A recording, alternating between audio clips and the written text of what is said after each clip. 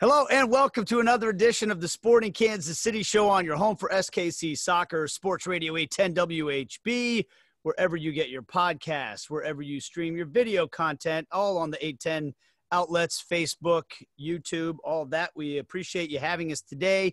You can see our beautiful faces. I am Nate Bukaty on the back deck again, guys. And I will tell you just a little window into the, the Bukaty world – pandemic has caused me to spend so much time into like decorating the back deck and fall season type stuff, you know. Um, and I'll let you know over here, we've got my friend Reggie and his dog uh, Peanut. I don't know oh if you guys. Gosh, I nice. love it yeah, I didn't know that dog ears actually were part of the skeleton, but um, found out yeah, out. I thought ears were cartilage. Am I? Yeah, I did too. I did too. Learning anatomy here as we. But it would also look kind of weird though if the dog didn't have the ears. So yeah, when I design guess. is more important than anatomy, it's yeah. okay. I'm pretty impressed with how uh, accurate the skeleton anatomy seems to be, though. So uh, kids named him Reggie and the dog Peanut. Not sure how either of those came about, but um, that's what we got. So, great name. Um, I, I got Trost, my, two pumpkins. Hey, are those real? Are those real pumpkins? Those are real pumpkins. So we need to monitor the situation to ensure they don't start going bad uh, right on the floor of our living room. So yeah. that will be uh, something to keep an eye on. And as long as you don't carve them, they should be fine for quite a while. Yes. So probably how's the no fruit fly not... situation? Okay, Nate. I tweeted about this earlier. I actually Amazon ordered the little traps that you had sent the link to or sent a yep. screenshot of. They got back ordered, but it seems to have not mattered because ever since I tweeted out about a week ago that I was having a fruit fly situation, they've disappeared. They they saw the thread on Twitter, they got freaked out, and they said, "Guys, let's find a new apartment. We're gonna bounce." Uh, so no fruit flies in the last couple of days, and nothing's really changed. So I don't know. Again, outside of the tweet, seems like the likeliest of uh yeah. of reasons that they are no longer here. So all's Carter, good over here. Carter, how's your fruit fruit fly situation at your house? Um, you know, I actually did have some earlier in the summer. I feel like a lot of people have been getting them, but um, it didn't last very long. I didn't have an aggressive press strategy like like Aly to uh, intimidate intimidate them in, in the press. But uh, yeah, we're we're good on the fruit flies. Well, for, you know, a free advertising for Terro uh, Pest Control, but they make these little fruit fly apples. They're they're shaped like little plastic apples, and you fill them with this like vinegar-based substance. Take care of your fruit flies like that. I keep a couple of them going at all times in our house, uh, and and fruit fly population in our house is always under control. Nice. So, there you go. the more you know, guys. Well, hey, mine will be coming I think this week. So I, I might put them out for preventative measures, but right about the time those uh, or, pumpkins rot, you'll be fine. yeah, yeah. I, my strategy is either you know get ahead of the case before it, it even happens, or just bully them online and see what. There you go. Yeah, cyberbullying is okay if it's fruit flies. That's the only time. It's the only time it's acceptable but it is because it's us or them. That's that's what it boils down True. to. Um, all right, let's get into the show. We got a busy show today, and it's going to be a really fun show. Up next on the show, we're going to have Tom Marshall join us. He is the reporter for Mexican soccer, basically the Mexican national team, the Mexican League, Liga MX, um, for ESPN. You can follow him on Twitter at Mexico World Cup. We're going to talk with him about the landscape of the Mexican national team that Alan Pulido is walking into. That's obviously some news we're going to cover through the course of the show today as the Mexican national team have some friendlies coming up in this window, and Alan Pulido will be joining them for those friendlies. So I think that'll be interesting to see, okay, where does Alan Pulido fit in Tata Martino's plans? How important is this little window for him? And what should we watch for if we're going to watch these uh, Mexican national team games? So he'll join us in the next segment. And then we're going to talk to our old friend Tony Meola, legendary Kansas City Wizards goalkeeper, uh, national broadcaster for all things soccer, and now part of the Chicago Fire uh, television crew. So he'll be on their call for the Chicago Fire versus Sporting Kansas City game on Wednesday night, and uh, he'll give us a little inside peek at the Chicago Fire organization. They've had a lot of changes 17 new players, new manager, all that. So it's going to be really informative and a new a new opponent, somebody we haven't seen yet. We we feel like we really know the teams Sporting's played a lot up until this point. So a couple of really good guests coming up on the show today. Uh, we have a big game 2 1 victory over the Houston Dynamo to recap from this past weekend. And we have two games coming up this week to get ready for. As I mentioned, Chicago Fire at Children's Mercy Park on Wednesday, and then Nashville. We got an FC and an SC, if I remember that correctly, Carter. I've got to keep track of who the FCs and SCs are. I think Chicago Fire's the FC and Nashville's an SC. Do I have that right? I believe so. Correct. That's important stuff. Um, and I know which way Carter feels about those two things. So Team Nashville for Carter on that. so um, let's let's rewind, guys, first to the game uh, against Houston Dynamo, and and it, this is one of those those moments in time. I was just con- I was just uh, trying to explain the concept of bittersweet to my children this past weekend, and I feel like perfect example. Alan Pulido, as he comes back from injury. Sporting's been wanting to have him back. They plunked all this money down for him, and he went out and showed, hey, this is exactly what you paid for. I'm the best player on this field. All I need is two chances, and I'm going to score two goals. And then the very next day, he's out of here, going to the U.S. or to the Mexican national team. Uh, so definitely a bittersweet situation. Uh, but Aly, I'll start with you your thoughts on the performance by Sporting Kansas City as a whole, and uh, and what did you make of the performance by Alan Pulido? Yeah, well, I mean, let's just start with Alan Pulido. He is exactly as advertised, and he just really proved exactly what was missing from this Sporting team for the stretch of games that he was out dealing with the knock. And, and of course, like you said, it is very bittersweet now that he returns and will be gone again for the majority of the month of October. About five to six games is what Vermes said. But just what he's able to do when he, when he is on the ball, beautiful things happen. And Vermes pointed this out after the game. Those aren't goals that just every player would score in those positions. They're very hard angles. It's not an easy um, situation to be in, whether you are forward, midi, or you know anyone in that kind of goal scoring situation. So I just think that Alan Pulido is absolutely what this team has been missing. I know that Felipe Gutierrez is another player that's been out, you know, this entire season really and has also been missed but alan pulido man it's just it's going to be really tough not having him uh, for this next stretch of games but overall I, th- I thought the performance from sporting was great again though without alan pulido on the field who knows how that game would have ended up as far as you know results go and i think that's where the concern lies now moving forward is you know this is a team that had been struggling to find the back of the net had either outpossessed teams or had a lot of great opportunities, but opportunities and and possessing the ball doesn't necessarily result in a win. So I think that this team is going to definitely struggle in the next couple of games. Not you know as a collective unit, but just not having a, such a, a, threatening piece like Alan Pulido to you know just such a clinical finisher. So I, I thought all in all a good game. They struggled in the first half. I thought you know Houston uh, kind of had their way with them for the you know majority of the first half and, and really it was fortunate that sporting kansas city was able to pull off such a close win like they were able to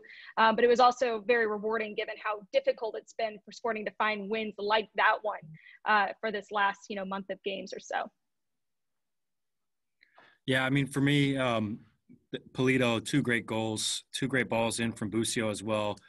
And I mean, that second goal from Pulido, and I got a chance to ask him about it, and and he said, you know, I was I saw the, how the goalie was coming out, and in my mind, I wanted to get it to that back post, but that's such a difficult skill, and, and he's it looks like he's you know he slides with the intent to chip it. You know, it's like a slide shot. He knew going in what he was going to do.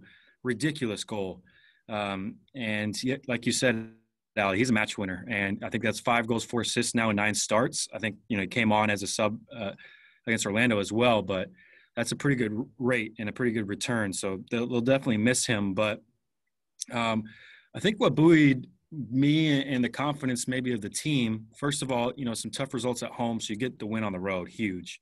But in talking to Tim Melia afterwards, he wanted. I asked him about the performance and he wanted to single out like every single player. It felt like so many players had good games down there. And yeah, you have Pulido eh, uh, making the headlines, being the match winner, Busio with the with the great passes, and the attack looked decent.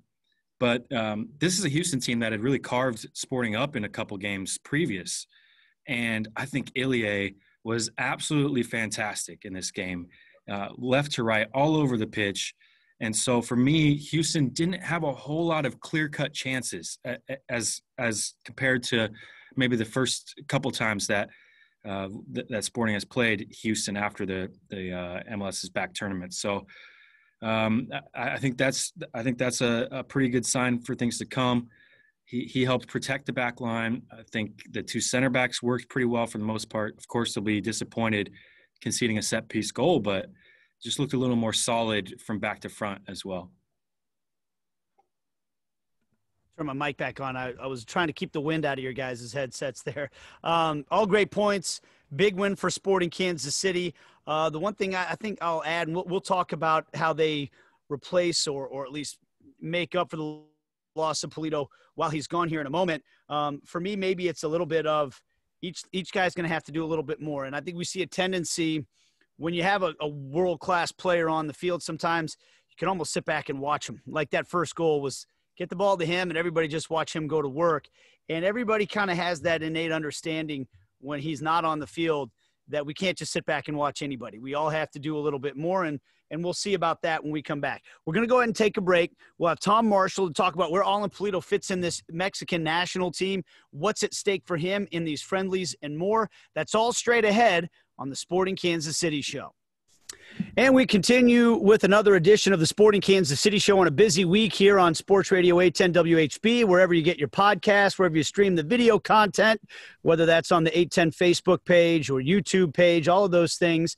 And uh, we are joined by a very special guest now, Tom Marshall, who, if you are looking to really get good information in following the Mexican national team, following Liga MX. He's the Mexican national team and Liga MX reporter for ESPN FC. You can follow him on Twitter at Mexico World Cup. And uh, he joins us now. Tom, how are you, man? Thanks for joining us.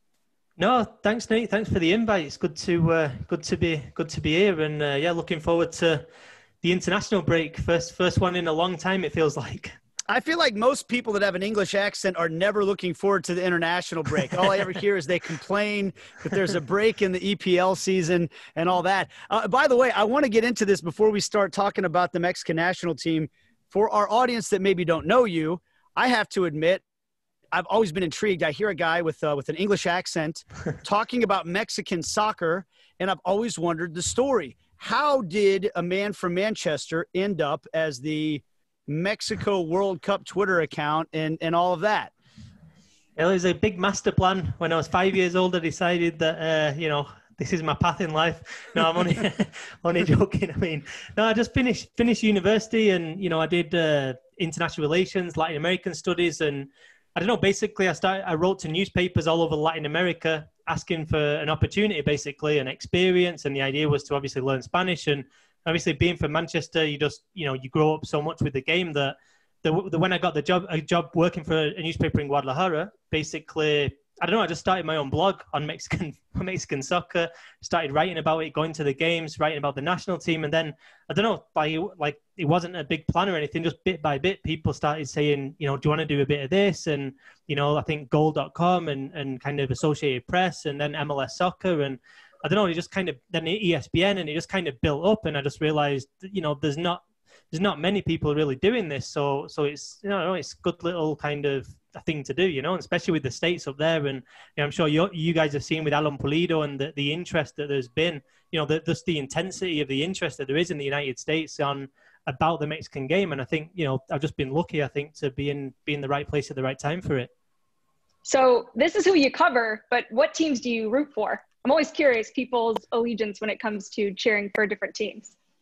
Yeah, I grew up going to Man United. Um, so yeah, so so yeah, United and also my local team Rochdale. I used to kind of sell programs outside, stuff like that. And then I don't know in Mexico, it's like I don't know. I, I lived in Guadalajara for like ten years, so you know I always like seeing Chivas and Atlas doing well. Um, but yeah, I think in Mexico it's difficult when you don't you're not brought up with a team to really kind of I don't know, like find that passion, you know. Um, so yeah, I just like the teams that I know it's a bit of a cop out answer, but the teams that you know play the best football. so, uh, having been covering the Mexican game now for 12 years, um, we had a chance when when Sporting was playing down in the Concacaf Champions League. We got to go to a Champions League at Tigre, game at Tigres um, the night before our game, and then we were uh, obviously able to see the the wonderful stadiums with Toluca and Monterrey. I'm curious, um, what are some of your favorite places to watch a match in, in Liga MX? Yeah, I mean, honestly, for like, if you're just coming in and, and just for, for like one day, I think you have to go to the Azteca. I mean, it's just like, you know, I, I must have been there, I don't know how many times now, you know, probably 50 times or something, but, you know, you walk up those stairs and it's like, I don't know, the stadium opens up and you get kind of goosebumps and it's like, you know, Maradona, Pele. I mean, that's where they were crowned. I mean, we talk about the best players ever in the world, and they were both crowned on in that stadium at the, you know the 1970 and 86 World Cup. And so, just for the history of that stadium and just the size of it, it just kind of even now it kind of you know you, you have to you have to take a breath sometimes. So so yeah, and, and then apart from that, I think for atmosphere, Tigres absolutely brilliant. Uh, when when that gets full, uh, I like Toluca quite a lot as well. Very like small and intense. Um, and, and Monterrey Stadium for me competes with, and the same with Chivas, to be honest, it competes with you know a Champions League stadium in Europe. I mean, those two stadiums are absolutely amazing places to go, to go and watch a game as well. So we're visiting with Tom Marshall, and and we're going to get to the MLS side of this equation here in a second. But I am curious, being there for 12 years and being from England, um, I think those of us in the United States probably have that chip on our shoulder that they they don't they don't take us too seriously. They, they and I think that has changed, and we can talk about that in a second. That it is maybe starting to become more uh, respected, you know, American soccer over across the Atlantic Ocean. What about the Mexican League? Like, what was what was your uh, opinion of Mexican soccer before you went there? Has it changed, and what do you think that the I don't know, like the European world views uh, Mexican soccer eh, on the national team and uh, and, and you know club level? Yeah, I mean, I mean, it's a big, big question, but I'd say in general terms, it's not changed that much. I think Mexico, I think they're known for playing really good football. You know, if I think if, around the world, if you know, whenever Mexico goes into a World Cup, it's like Mexico going to be a really good team to watch. I mean, it's rare that you see a Mexican team, and, and I think it translates into Liga MX as well. It's rare that you see a Mexican team sit back, wait for the opposition, and kind of try and hit on counters. And, you know, the Mex- Mexican teams in general like to have the ball. They like to pass the ball out from the back. And basically, they like to play in general terms, you know, good, good soccer. Um, and I don't think that's changed kind of too much. And I think the other side of it, which is a, the more negative side, is that if you're being brutally on- honest, probably the Mexican game and especially the national team, it doesn't have the teeth you know, it's like a team that everybody respects, everybody likes. But when it comes down to it, if you're a Brazil, if you're an Argentina, you know, a Germany, if it comes down to a, a, a you round a 16 game in the World Cup, you'll probably like to play Mexico. The challenge for the Mexican game, how do you get to that kind of higher level, that regular top 10 of the rankings?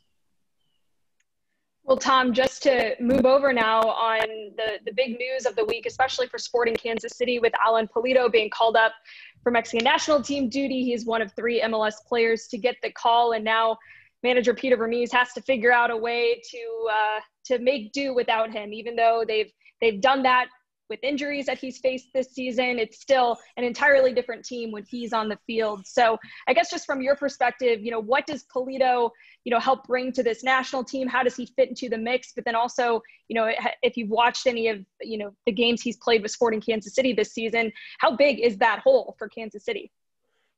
No, I mean, honestly, I've been really, really happy about you know what Pulido has done up there because I think there was a question mark. I don't think in terms of ability, but but you know the, the, there was that question mark. You go from a club like Chivas, which is just the intensity of kind of like you, the only play with Mexican players.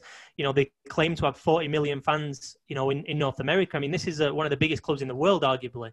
I don't think that's an exaggeration. And you know, I'm not saying Sporting Kansas City isn't a big deal, but to, to, to go to that change, there's always that question mark for a Mexican player that, you know, is he going there because, you know, he can make some good money, he can kind of, it's the chill, bit more chilled out kind of lifestyle, or, or what are his reasons for going there? And I think obviously he said the right things, but it's what you do on, on the field. And I think Pulido, you know, we know off the field he likes his kind of haircuts, he likes his sports cars, he likes his Instagram stories and to, you know, be talking to people on there. And, and you know, fair play to him though when it when it's got down to it. And I think that the manager Peter Vermes as well has said it every opportunity. This is a guy who absolutely every training session is there working hard, um, and so I'm happy for him because I think the he's deserved this national team call up.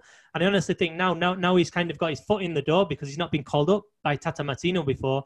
I think now he's got the, his foot in the door. He, I mean, he's in the mix. He's in the mix for for a regular spot. I mean, you know, if you look at the Mexican national team, you've got Raul Jimenez playing at Wolves, and he's just number one. There's nobody's getting nobody's getting near him in the next, you know, in, in the near future. But I think behind that, I think Alan Pulido now is. I mean, you, I mean, you guys watch Chicharito in LA Galaxy, and he's not had a good time. I mean, let's be honest. He's if you're judging Chicharito on just what he's done this year, then he's not a national team player. Obviously, he's the highest you know, he's the highest goal scorer ever in the history of the national team. That obviously has some weight as well. But right now, if you if you're comparing Pulido and Chicharito, then obviously you're going to go with Pulido, and I think Tata Martino, you know, that's what he's done this in the, with his call up. Do you think there's any chance he could play with Jimenez, or is that kind of he would more be just a, a backup type player? No, I don't think so. I mean, I think it's one or the other. I think I think Tata Tata Martino is going to play with only one number nine. Um, I think that's what he's done mainly throughout his career as well. And you know, unless you you shift Pulido to the wing, um, which I, you know I just don't see happening, then then I think it's very much a, a Jimenez or Pulido. But to be honest, I think Pulido's game is suited to you know playing on his own up front as well. I mean, I think I don't know. I think one of the debates in Mexico about Pulido has been for a long time he was just considered number nine.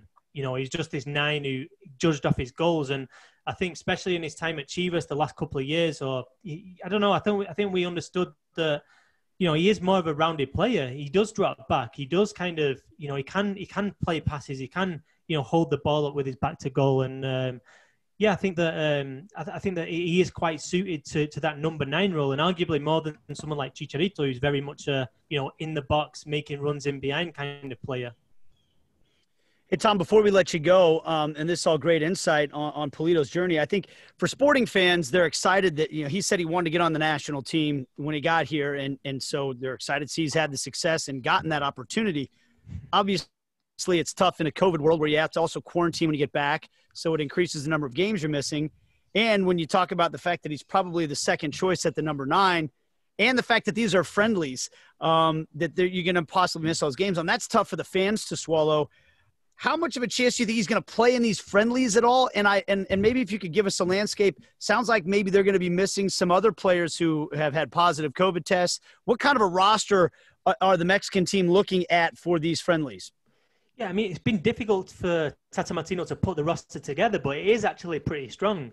I mean, I don't think it's any weaker than. I mean, you always have injuries and you have issues, and you know, there's news today. Carlos Rodriguez is out because he's tested positive for, for COVID nineteen. But I think in general terms, this is this is pretty much as strong as it gets for, for, for the Mexican national team.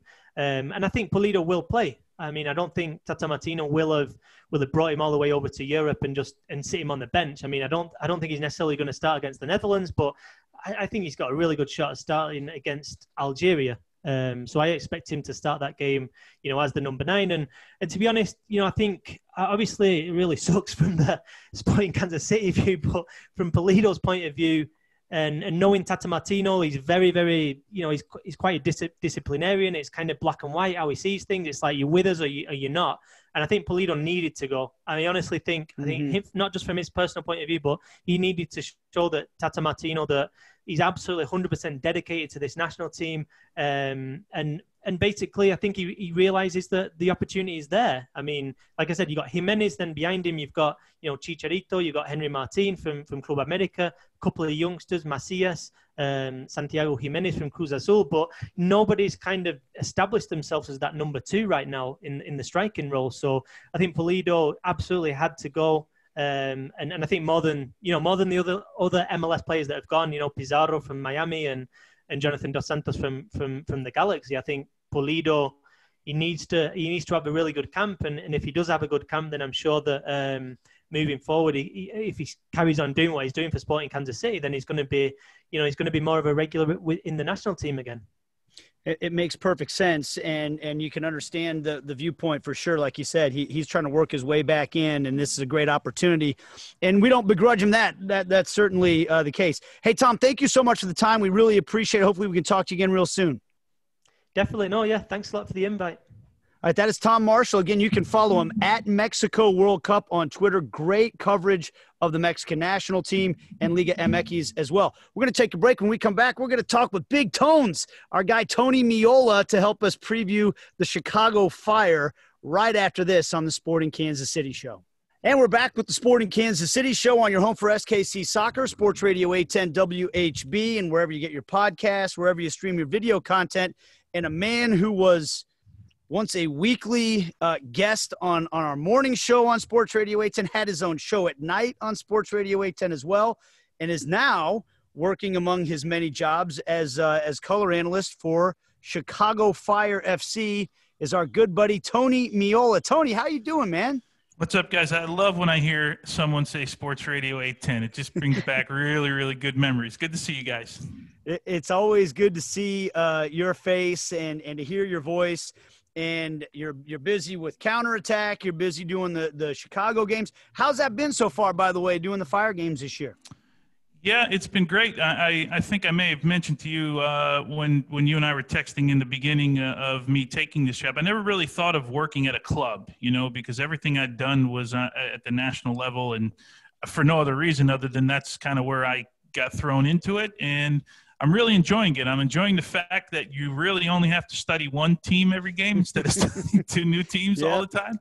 Uh, but I, I'm, I'm, what I enjoy about this broadcast, and it was a uh, something that um, we talked about right at the start, and it was the only way I was really going to do it was they wanted a national feel to the broadcast. Of course, it's the stories and the pregame and all that stuff is is generally stories about um, you know Chicago, Chicago Fire players, that type of stuff. But when you're calling a game, you got to call it straight, you know, and whatever you see. And uh, I think as as a league, we've gotten. Uh, so much better at that than it was back in the day. You know, it was mm-hmm. it was Homerville uh, every game in, in the 1990s and the early 2000s. You know, and now I listen to games. I listen to you guys. You guys do a great job, and you're calling a game. it, it is what it is, and I think people understand that guys make a mistake. And by the way, guys on the home team make a mistake as well. You know, and that's mm-hmm. that. And that was that was their uh, the first thing they basically said to me is we want people to really sort of feel that this is a national broadcast. It's been it's been uh, it's been a lot of fun. Of course, would have been a lot more fun to visit stadiums this year and you know get the like I, I, would have preferred to have been in Kansas City this weekend and seen you guys and seen some friends. Oh, we'll get to that point one day, but short of that, um, I couldn't have really asked for much more. Well, I was just going to ask you, having it be your first season covering or you know doing uh, color work for the Chicago Fire, and there's no fans. It's an entirely different MLS season. All of the you know peaks and valleys that have occurred over the last few months. What's that been like for you, and, and just kind of rolling with the punches? Well, you guys have a little bit of an advantage having some fans in the stadium, right? So you can you, can feel some energy um, in the stadium when you get there, and you know fans are excited. Like that part I miss because um, you, you, you know you kind of you know you feed off of that and of course I've called CONCACAF games for uh, a year now, you know, so I'm used to sitting there and trying to always create your own energy. But um, it's it's gotten a little bit easier with the team getting some results of late, uh, seven points in the last three games, and it was getting, I think, a little bit frustrating for fans and a little bit frustrating for uh, maybe some of the players. But credit to them, they they didn't let it get to them where they were creating chances in games and the ball just wouldn't find the back of the net. And I, am sure there's some sporting fans going, "Oh boy, that story sounds familiar right now," you know. But that's kind of where we that's kind of where this group was at, um, and it's nice to see. I would think in in any you know any team you follow, it's nice to see that some of those things that you're working on and some of the hard work is paying off. Uh, it, I was going to ask you, you know, Chicago making a lot of uh, a lot of moves uh, with the new ownership coming in obviously bringing yourself in and, and what you said they've done in terms of really supporting the broadcast. Um, the move back to soldier field it seems kind of like a, a new you know new era in chicago. Can you get a sense of uh, what the city feels about the fire right now or is it too tough to tell without any you know with, with everything else going on? No, I'm I'm around the city all the time. I've I've uh, walked this river walk more than probably anybody in Chicago since I've been here, and uh, there's there's a general excitement. Of course, it's a big city, as you guys know. It's a sports town. They want to win, and they want to win. You know, yesterday. That's what the that's what the city wants to do. Um, and again, I think I, you know, as I said, a little bit of frustration when you don't get the get wins right away, um, and I think a little bit of uh, a little sense of relief after the last couple of games where you're picking up some points. But you mentioned it, uh, change in ownership, right, which has been massive for the club. A move to downtown offices, which are stunning. These offices here. Um, a move to Soldier Field, which no one really thought was going to happen because there was such a long lease at SeatGeek Stadium. You know, you have to be a really committed owner to go. You know what? I'm gonna I'm gonna swallow that pill, and we're gonna make this work in Soldier Field, and we're gonna figure it out. And then you top that off with a new manager, uh, 17 changes at the beginning of the year, one more that's expected to come in sometime in the near future, a youngster from Colombia right back, and now you're thinking, man, they're they're they're really committed. You know, they're really committed to doing this. And I think as a fan, I mean, you guys are are fans, I'm sure, of whether you're a Royals fan or whether you're a Chiefs fan, whatever. You want your ownership groups to you want to feel that they're invested in what you're doing, that they're they care about the team, and more often than not, the only way that we think owners are committed to the teams are when they spend money, right? We're all we're all good at spending every owner's money, right? It doesn't matter if you're a Chiefs fan. I was in Kansas City for nine years.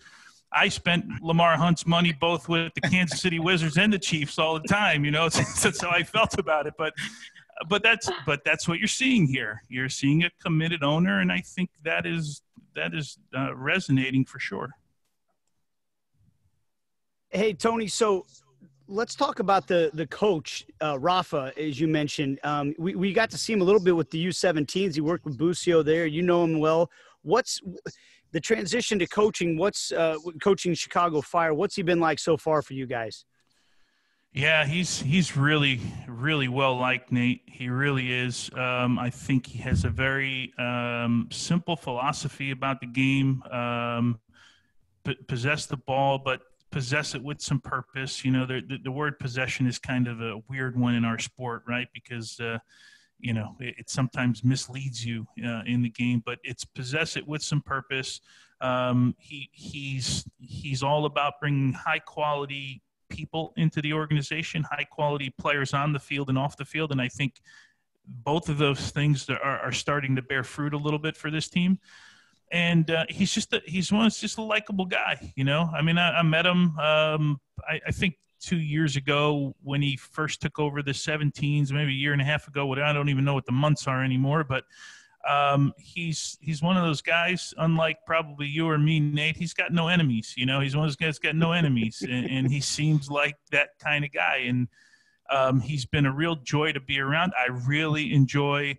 We're lucky, um, as you guys are there with Peter, where you have a relationship where you can sit and talk to him and get some ideas. And I I love uh, just talking talking the game with them. You know, not necessarily just Chicago, but you know, there's been like uh, Europa League games and Champions League games that have been on on certain days, and you have a conversation with them. I I just enjoy the conversation. So. Uh, I think they're they're happy here that they have him, um, and I think he's done a, a really good job so far. Tony, what about from the players' standpoint? How have they bought into this? And you know, you mentioned earlier, kind of a rough start to the season, but now finding that rhythm and momentum. So, do you see this team on the on the brink of something special here, just given what they've overcome this season and some of the challenges uh, with all these new pieces coming together early on?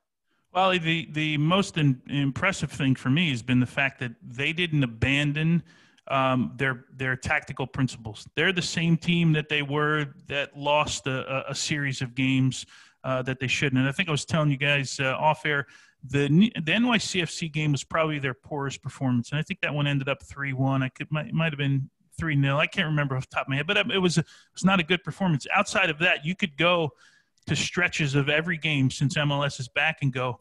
We came out of games.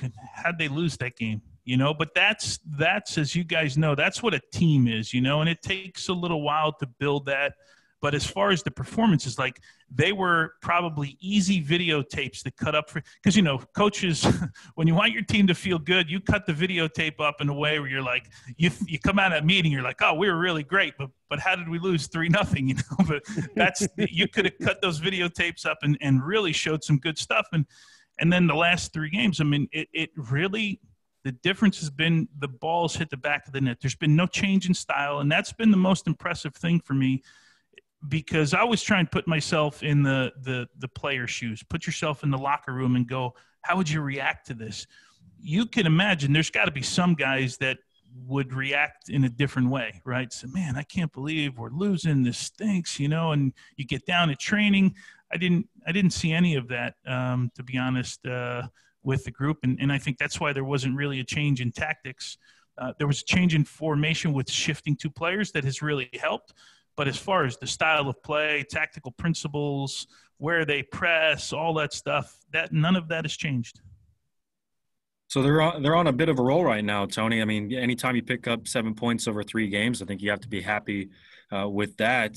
Um, what are some for Sporting KC fans? Who are some of the players that they need to, to take and keep an eye out on in this game? Well, the, the one guy obviously is, is Robert Berić, right? Anytime you got a goal scorer, uh, five games in a row now, he's got six goals on the season.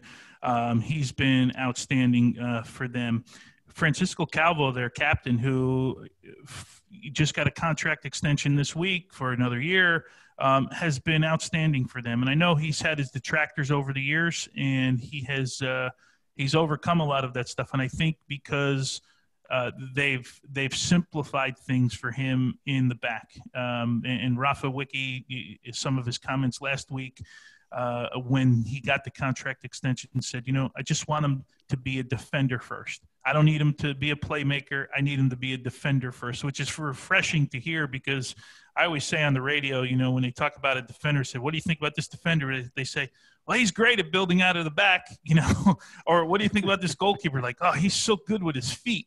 Yeah, but can he defend or can he keep the ball out of the net? That's the two main important things, you know. Um, Djordje Mihailovic, I'm sure your fans uh, know, um, is a youngster that still is not close to the ceiling yet for him. Um, he does some really special things. Uh, Aliseda, from a Chicago standpoint, um, who's now I'm assuming he's going to play out wide again um, when he gets one v one, he's got one thing in mind, and that's to attack and attack and attack. And then Fabian, Fabian Herbers has been great. Gastón Giménez won't be with the team. Uh, he has been a, a great net, that true number six role. The guy who's been more the eight has been Medran in the middle of the field.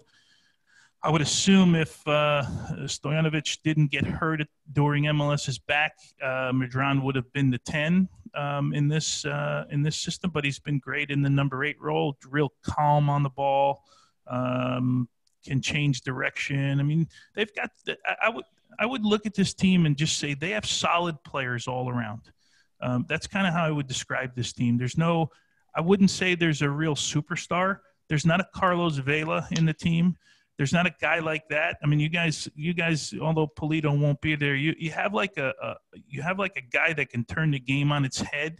Um, I would say this is this is more of a, a team that's dependent on each other, right, to to perform well. They they of course, you're always going to get that moment of, of magic from someone in a game. And Medran, a, a run for 60 yards a couple games ago, as you probably saw, um, and scores a goal. But I, I, I, would I would think that in order for this team to keep going and, and, and getting points, they have to play well as a team because they don't have that Vela guy. You know, they don't have um, some of the guys of Valeri, you know, those types of guys. That doesn't mean you can't win. Um, you can win like that, and we've seen that. Hey Tony, before we let you go, you mentioned that they they made a little switch in terms of players. Uh, what can you tell us about that? What what switch did they make, and, and why did it make a big difference? Well, Aliseda was playing as the number 10, um, and Fabian Herbers and Mihailovic were out wide in, in the two wide positions. And uh, they moved Fabian Herbers into the number 10 position because they thought that they would get more support defensively because he's a, he's a high work rate guy. Um, where Aliseda, um, in that role, it's he's he's an attacking player. You want him to do most of his workload when they've when they've got the ball, not when they don't have the ball. So they thought from that standpoint it would help. Well, it certainly did, but what it has done is opened up a whole new world for uh, Fabian Herbers to run into, a whole new world for him to be part of the attack. Um, and it's really changed the, the, the dynamic nature of going forward. Um, and I don't know that they thought Nate that it, that was gonna that part was gonna happen the way that it did. I think they were looking at it more from a defensive standpoint, but it's opened up a whole new world for Herbers to uh, to get forward and running behind the back four, and um, so it's been interesting to watch. Sometimes you just fall in those things, right? Is sometimes yep. you know um, in New England, they they uh, the Patriots one day had a great quarterback and he gets hurt, and all of a sudden they found out that there was this other guy. Yep. you know, it's the how how things happen, right? No, no doubt about it. Sometimes it happens out of necessity, and and uh, it, that that makes a lot of sense. And it's going to be a fun game tomorrow night, Tony. We wish you were here too. We'd have well, a glass Nate, of wine. Can I jump in? Oh, wait, oh, Aly likes. Quick. Go ahead, Aly. like Come on. do this because Tony, I was thinking the last time we talked, I believe we were breaking down the 2000 MLS Cup championship where uh, the Wizards right. beat Chicago. So I'm curious now, as you're in this new role, do you ever let them? Do you you ever let them forget it that that was uh, your MLS Cup championship came against this club? Do you try to sneak point. it in the broadcast? Well, uh, that I, I don't let them forget that, nor do I let them forget 2004 uh, final at Arrowhead Stadium in the U.S. Open Cup. Uh, yeah. Igor uh, Simutenkov, right? A, uh, yep. a goal. No, I, uh, I I don't let them forget. I I like to play uh, coy a little bit, but I when I have to, I pull it out of the bag, Aly. that's a that's right, Tony. Very important note to end yeah, on there. yeah, that's important. Tony, hey, thanks so much for the time. We wish we were Anytime. hanging out with you after the game tomorrow night, but we like will. you said, we will. We'll be back to it soon. Yep. And and and uh, we'll be looking forward to listening to you on counterattack as well with Dunny. Thanks, guys. I appreciate it. All right, that's Tony Meola. We'll be back to wrap things up on this edition of the Sporting Kansas City Show right after this. All right, back to wrap things up on another edition of the Sporting Kansas City Show. Nate Bukaty, Aly Trost, and Carter Augustine. Our thanks to both Tom Marshall and uh, Tony Meola for joining us on the show. Now it's time, guys, to just kind of look ahead to the matches that, that are to come. We, we previewed this Chicago Fire team, so maybe let's take it from the Sporting Kansas City side of things. And I, I know, Aly, you were on the conference call. Carter, you watched it today. Uh, today being Tuesday, we, we spoke with Peter Vermes. I asked him about – the fact that they've had to use a lot of guys on their bench already this year. They've had injuries, they've had a weird schedule. And does that help in terms of the fact that they're probably going to have to be re- relying on some of these guys in the middle of this stretch? This this this game is our first Wednesday where I hope you don't have any plans on Wednesday, guys, the rest of the month of October because they're nope. all sporting Kansas City games, darn it. Um, he said, yeah, it's great that they all have experience, but they need to now have that experience to go out and use that experience to get results. So I'm curious, Aly, what you think of the depth that Sporting has right now, and what are you looking forward to most in terms of that squad rotation uh, going into this stretch? Yeah, it's not just the depth for me. It's it's the versatility within those roles and within those positions that a lot of these players have had to kind of step in and you know you've seen Busio at the six you've seen Graham Zusi play all over the field at this point. And to me the the key word in, in Vermes' press conference earlier was in-game adjustments. You put out your best starting roster your best team on the field to start the game. And then as the game progresses, you recognize what adjustments need to be made to finish the game, hopefully with a win, uh, and adjust to tactically what the other team is putting out there for you. And so for me, the depth of the roster is great, but it's also the experience that a lot of players have had playing different roles. Khiry Shelton at, at the nine, out on the wing, you know, Johnny Russell and Gerso kind of switching roles uh, out on the wings, even though Johnny's, uh, you know, predominantly been out on the right. But just the, the versatility within the roles on the field that, you know, a lot of these players have been kind of asked to just step in and, and depending on what the game is throwing at them, step into different roles and, and perform at a high level. So I think for me, uh, what's going to be interesting to see is, you know, this team over the next month and, and during this really congested stretch of games, find ways to win. And, and especially when you take Alan Pulido out of the mix, you're going to see different looks up top. You're going to see different looks in the midfield. And, and whether that's because of caution accumulation, like we saw with Gadi Kinda being out, now he returns, of course. But injuries and different reasons that keep players out of the game has just made other players have to be better,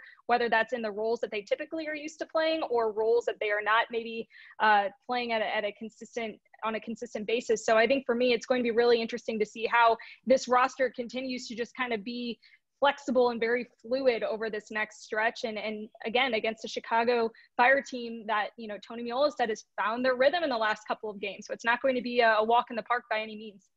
So, Carter, I want to ask you about this as well because I, I, think one thing for us that are, if we're diehard sporting Kansas City fans, it's a little scary seeing the young guys play, but it's also kind of exciting, right? You get a chance to see how the young kids look when they get thrown into the mix. And one of the things Peter said in his answer was, yeah, I, and I'm paraphrasing, but he said something to the effect of, yeah, a lot of these guys that have already gotten experience are going to get called on, and some other guys are going to get opportunities as well. And the first thing I thought of was the team that you do the play by play for, Swope Park Rangers. They've got a lot of academy kids and some guys that have been signed to MLS deals as well that have been playing minutes for them, and their season's over now. I'm just curious. I wonder if we're going to see anybody else when he says other guys, I, and and I'm curious where your thoughts go when when you think about that, and um, and I guess just your opinion on or, or your your your expectations of what we're going to see the rest of this season. Um, I think it's it might be difficult with COVID to add guys up from from the Rangers. So you know you, you, have to think maybe Tyler Freeman gets a little bit more involved with the with the first team now that the the Rangers the SKC two season is uh, is over. Um, for me, it was more like if a sense of they're going to have to use the whole roster during this time and I think they're right now. It's maybe the reinforcements have arrived. You've got Ilie's back and, and into fitness now. Um, we saw Roger Espinoza come on and make a really good cameo down in Houston and, and kind of add his typical bite into the game. Um, Winston Reid now seems to be re- reaching a fitness level as well. So I think, um, as you were asking Nate, asking him is during the summer, the, the some of the other guys like Felipe Hernandez come in, uh, Graham Smith play a lot of minutes and and hold the fort. And during this stretch, I think they'll be called on again. So um, I, am not sure. I'm trying to think. You know, maybe we'll maybe we'll see a little more Erik Hurtado than we've seen. Um, maybe some maybe a return of Jaylin Lindsey at some point here because you know Graham Zusi can't you can't imagine he's going to play every single match Saturday, Wednesday, Saturday. So Daniel uh, Salloi was back on the bench last Daniel game. Salloi's back in, so then maybe that's the one. You know, he, we haven't mm-hmm. seen a mm-hmm. whole lot of him this year, so maybe he's he he's maybe itching for some minutes. So, um, yeah, I think I think just with this schedule congestion, um, they'll be hoping that some of those those minutes that they played in August will really come to fruition when they need them here again. Did I call them Swope Park Rangers too? Did I do the same thing? Maybe. I mean, I do all the time. I, I, it's going to take a while. It's a transition year. Yeah. Okay. Yeah. There's still the Rangers in my heart. Too. There we go. Um, and, and, then, guys, how about let's just get a quick thought on Nashville coming up. Uh, Mike Jacobs is the guy that's putting that team together. Uh, we haven't had a chance to see them yet. Carter, your thoughts on uh, just how maybe it's kind of fun to see a brand new franchise uh, that's going to be coming to town here? Yeah, it'll be it'll be fun to to see. Um, obviously, they're they're hanging in around the the last playoff spot there in the East, um, and Mike Jacobs know him pretty well, and you know it's a shame that it's not the the normal um, travel circumstances, so he couldn't uh, couldn't hang out or anything like that. But um, I, I'm just excited to see some Eastern Conference teams. That'll be really interesting, and for me, another thing that sticks out is Amadou Dia in his press conference today. When asked about Chicago Fire, he said, "You know, we're really thinking about how we let down the fans in the last two home games, and we want to, mm. We want to, we. I think he said they owe it to the fans to to deliver a performance at home. So that that really stood out to me, Aly. Yeah, no, I, I thought that that was a pretty um, telling thing because we've talked a lot this season about oh like home field advantage it just doesn't seem to mean as much anymore and you know, in such an unusual season. There's inconsistencies across the league with who's having fans, who's not. But, you know, if there's one thing that Sporting KC fans should by now know about this team is that they want to put on a good performance for their fans every single time they play at home and truly do consider the fans, whether it's, you know, just 2000 or, you know, a packed stadium to be an, you know, an influential part in their performance and, and the support that they bring uh, you know, week in and week out. So hopefully, you know, the team can give the fans that because I know it hasn't always been easy at home. But, you know, just as we talked about with the Chicago team, the Sporting KC team is seeming to find their rhythm as well. And even if, if Alan Pulido is not there for, you know, most of this month, I think that, you know, Nate, like you said earlier, the depth on this roster and the experience that this team has now, whether it's the youngest players or the veterans and, and the experience playing with different – you know, lineups and different rotations of players will only make them better down the stretch. And so that's going to be, I think, a key part in their success here as we get closer to the playoffs. A big thing. Being in third place right now puts you in a decent position. Hold the fort. Keep yourself in playoff position until Pulido comes back. And then all of a sudden, if you're a full strength team with Alan Pulido going into the postseason, you got to feel pretty good about things if you're sporting Kansas City. All right, that's going to do it for us, guys. Our thanks again to Tom Marshall and Tony Meola for joining us. Aly Trost and Carter Augustine. This is Nate Bukaty saying thanks for watching and listening, and we'll see you next week. Hopefully, talking about two big wins on the next edition of the Sporting Kansas City Show.